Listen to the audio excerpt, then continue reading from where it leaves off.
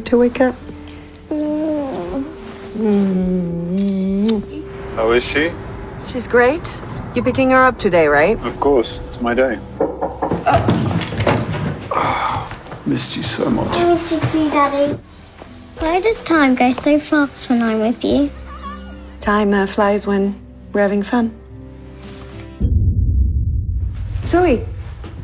Zoe! They have to do an emergency surgery. She has intracranial bleeding. I spoke to the doctor again. He said that most of the bleeding occurred that night. What can we do? Nothing.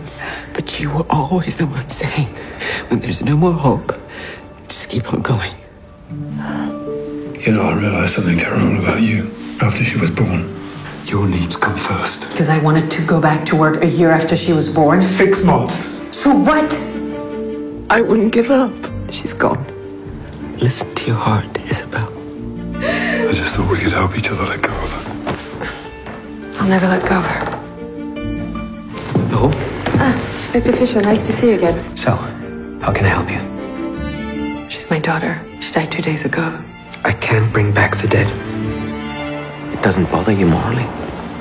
No. Even if it works, it will not be her. The color of her hair, her smile, even what she likes or dislikes, all that is written in our cells. Girl talk. Yes.